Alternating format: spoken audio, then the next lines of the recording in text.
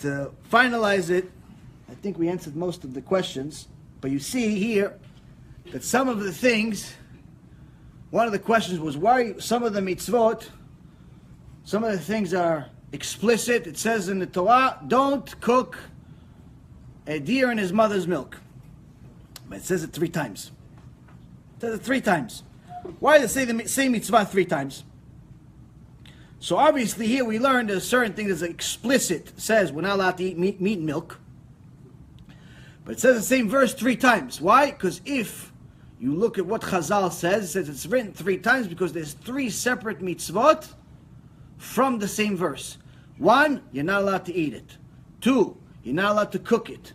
Third time, you're not allowed to enjoy it. Meaning that if you want to go work as a chef, you're not allowed to work as a chef in a non kosher restaurant. Why? Because you're not allowed to cook or eat or even enjoy, make money out of non kosher food. So if you own a non kosher restaurant, you must get rid of it. You, must, you are not allowed to be a cook or make any money out of non kosher food. Not allowed.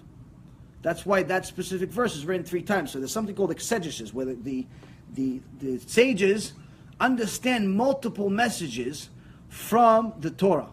And this is how the Torah is endless.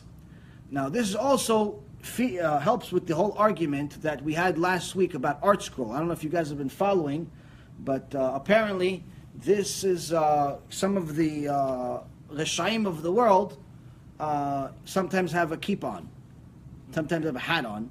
Sometimes they think of themselves as tzaddikim. So last week we talked about how to tell people you're not allowed to learn from ArtScroll, aside from being stupid and ignorant, it's gava. It's gava. Why? Because Art Scroll has made it easier to learn the basic pshat, the basic meaning of Gemara. It doesn't give you any major secrets. You're not going to become a Kabbalist from learning uh, ArtScroll. You're not going to become Moshe Rabbeinu from learning Art Scroll because of how. No, you're going to learn the basic pshat, the basic literal meaning of the Gemara. What is the Gemara trying to tell me? Basic meaning.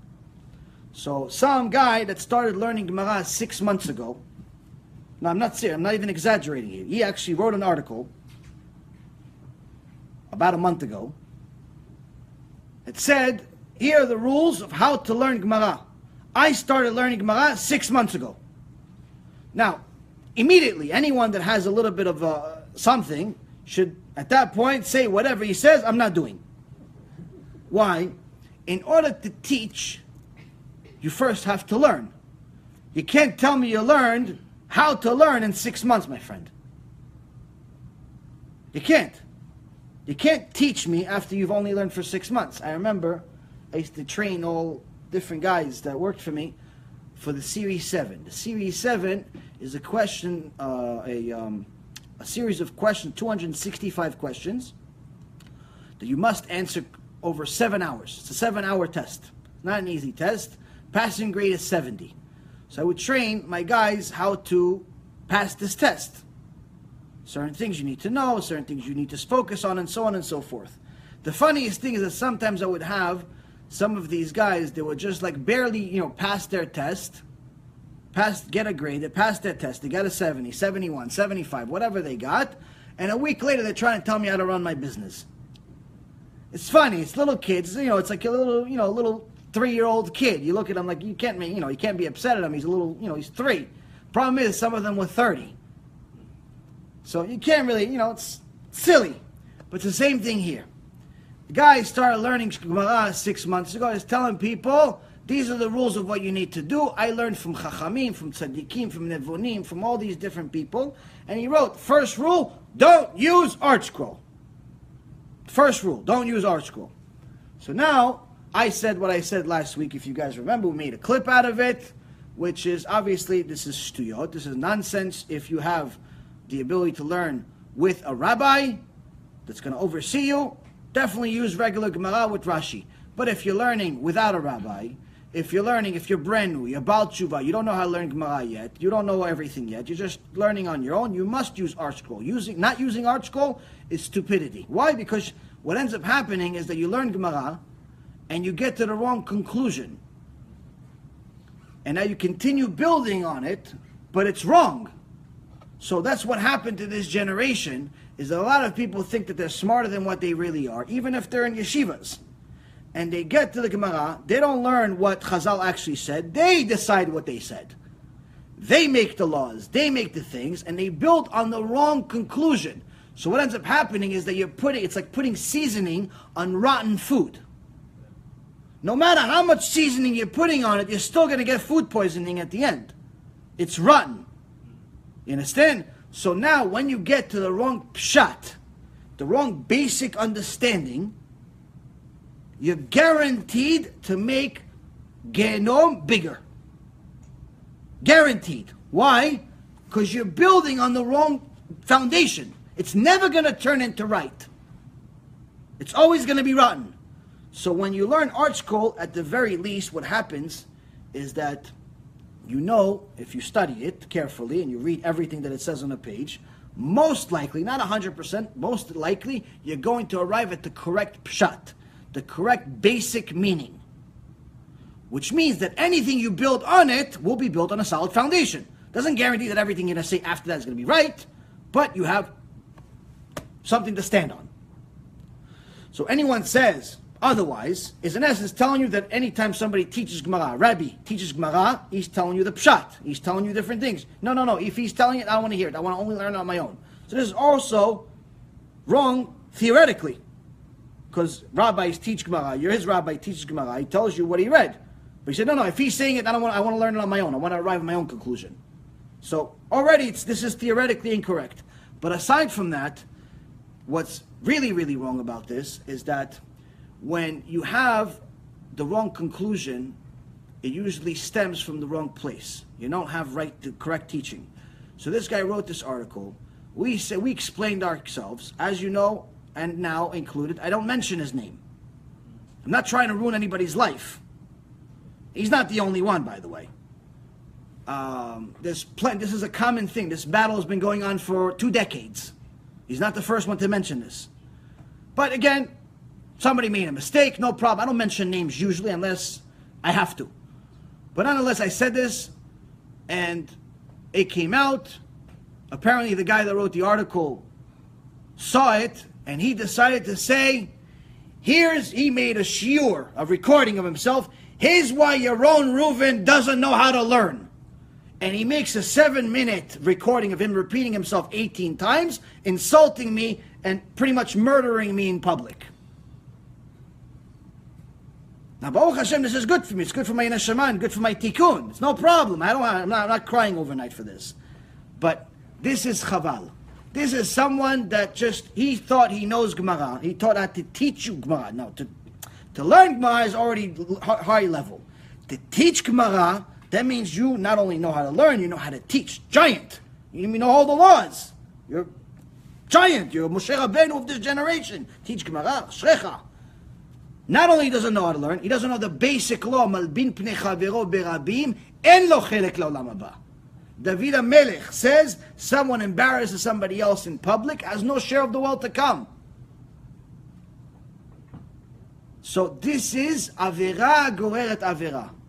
Why? You said Lashon Hara about ArtScroll a month ago. You didn't like the Musar I gave you, the same day you wrote it, I sent the guy a Musar. I told him, listen, you're wrong. You're not, you're not doing right. You should take this thing off. It's Lashon Hara. Aside from being theoretically wrong and practically wrong, and it has, ArtScroll has Gdolei Ador signed off on it. You have videos of, of Moshe Feinstein, of um, Rav uh, Kanievsky studying from it. Kanievsky studying from it. Rav Steinman studying from it, from ArtScroll. Rav David Feinstein has a whole interview talking about how great it is. The Gdolei Ador is signing off on it. You little peon, roach, that started reading the book, started learning how to read six months ago, are saying everybody's wrong because somebody told you something that you misunderstood. So you didn't like the Musari that I gave. I told him, listen, this is wrong. This is Lashon Hara also. You're going against Gdolei Ador. What does he do as a response? He destroys me. He goes, he makes, he calls the shiur Yaron Reuven. So don't, don't misunderstand. Yaron Reuven, no rabbi, no babkis. Yaron Reuven doesn't know how to learn. and he goes seven minute recording insulting me. And in case, since he only has three subscribers, him and his mother and some other friend that he has subscribers to his SoundCloud channel, nobody heard it. So what did he do after? He made sure to type everything he said, and he posted it online again. It wasn't enough to kill me the first time. He wants to mot yumat. He must mot yumat, like the din karet for, for some mechalel Shabbat. Mot yumat. He wants to kill me twice. So he typed it also. Tembel. Tembel, tembel, tembel, mefager. Huh? Hey, he sent it to me. He sent it in the group I was in. But okay, so now I'm gonna ask you. I'm gonna ask you a question. Before Torah, what would I do? After Torah, what would we do? Before Torah, probably go to his house. but Baruch Hashem, we have Torah. We have Torah. We thank God for the schut, for the merits. Only thing I responded is something that it says in the Gemara in Bava Metzia. I'm sorry, Bava Batra. Bava Batra 75, 75b. Bava Batra 75b, Hashem Barach says to a wicked king called Hiram. Hiram. He was a wicked king that thought that he was God. So what did he do? He built a castle with seven levels, separated by water. Like Hashem has seven rekeim, seven, he- seven heavens, and he's at the top of the heaven. Hiram, Hiram made a castle in essence, separated by water in seven ways. So Hashem Barach sent a prophet to him, and he says to him this, istakalti ubarati nekavim nekavim. I looked at you when I created the world. I saw you coming in the future. I saw your arrogance, what you're going to have. And because of you, because of you, I created holes in the body. Why holes in the body? Because how much confidence can you possibly have when everything that you put inside into your body goes out stinky? What are you so proud about? You think you're a god? You just had diarrhea last week. You had a headache. You had a broken back. You have a foot uh, fungus. B'chai istakalti, I saw you, you arrogant fool. And because of you, I did it. So I said, this guy learns Gemara, Tosfot, this one, that one. Don't use Art Scroll. Don't use that one. So of course he's going to understand what I mean. So I sent him this little clip. I just sent him B'chai istak. I just sent him the verse with the Gemara page. I'm assuming he understood. What is the response? I'm doing it for Am Yisrael to separate the sheker from the emet. I'm saying you don't even read the Hebrew that I wrote you. You don't even know how to read. Because if you knew how to read, you would even know, you'd understand. This has nothing to do with anything. It just shows you you're gavtan. You have too much pride. You're making all this stuff. You're destroying people in public for no reason. What happened? What happened, my friends? What happened is, is that somewhere along the line, people forgot that Yirat Shamayim, Yirat Shamayim is everything. There's a verse in the Torah, Hashem says, Yirat Hashem iotzaro. Hashem has a treasure chest. Hashem has a treasure chest. The whole treasure chest has one thing. He used to have two. He used to have Shabbat. He took Shabbat, he gave it to us. Says there's one thing left. What is it? Yirat Shamayim. Yirat Shamayim, iotzaro. Hashem itbarach. In Gemara it says Shabbat. Gemara Shabbat says the only reason Hashem created the world is for you to fear Him. Not for you to love Him. Love Him comes later. To fear Him, give Him a reason to create the world. When there's no Yirat Shamayim, there's no connection to Hashem Yitbarach. There's no connection, there's nothing. There's babkis. So now, to prove this example of this art scroll, I'll give you a chidush from art scroll. Now the basic pshat that talks about this Yirat Shamayim in Gemara Masechet Shabbat, page 31, it says, Yirat Hashem iotzaro. Hashem everything that he has a treasure chest is the Yirat Sham- Shamayim. So it says, what is it like? What is it like, this Yirat Shamayim? It says, even if you know the entire Mishnah, you know the entire Mishnah by heart, no Yirat Shamayim, nothing. It's worth nothing. You know the entire Mishnah, entire foundation of all Torah. All of it. You don't know it, you, you have it. You know by heart. You know Tosfot, you know Rashi, you know ArtScroll, you know Babkas, you know whatever you want. You know, you have no Yirat Shamayim, it's worth zero. First thing. This is ArtScroll, says it's Rashi. Basics. It says, what is this like? Uh, tell me, tell me more, tell me more. Gemara says, tell me more. It says, בשעה שמכניסים אדן לדין, אומרים לו, נסעת ונתת באמונה, says when someone goes to Shamaim, there's the Betin of Shamaim, he died. 70, 80, 120, however many years he goes to Shamaim, Betin of Shamaim. There's no more uh, joking around. You have to pay the bill. They ask him questions. There's a few questions they ask. This first question they ask, did you conduct your business with honesty, with faith? Or you a dishonest person? Why did they ask him, did you go to Bekneset? Or were you honest in Bekneset? Why? Bekneset, everybody could pretend like the tzaddikim. In business, there's no pretending. Why? Money. Money. You're not pretending. If you're honest, you're honest in your business. If you're a liar, you're a liar in your business. Bottom line. First question, did you conduct your business?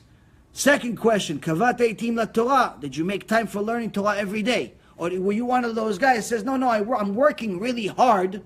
I'm going to study later. I'm going to st- I'm going to make my millions. I'm going to study later. Later, after I have a few million in the bank, I'm going to study all the Gemara you want, Kodarav. I'm going to study all this. I'm going to do this. I'm going to give tzedakah. Everybody blames God for their lack of tzedakah. Say, listen, listen, I don't have that much money now. Only make $50,000 a year. Only. Make $50,000 a year. Only. Make $50,000 a year.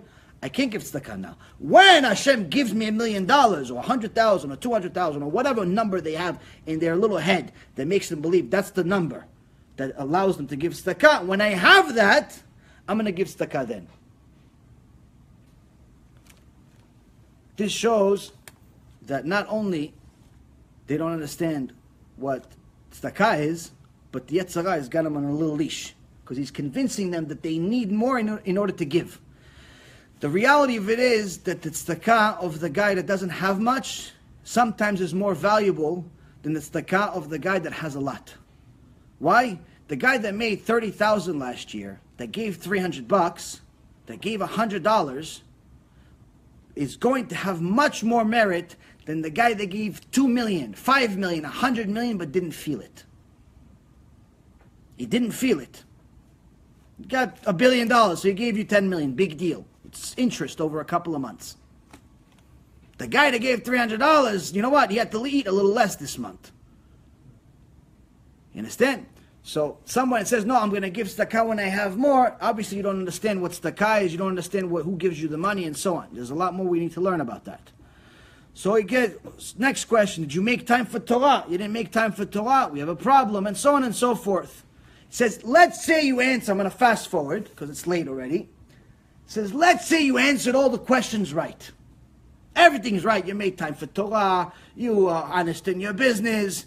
You were waiting. You were hoping for the Mashiach to come.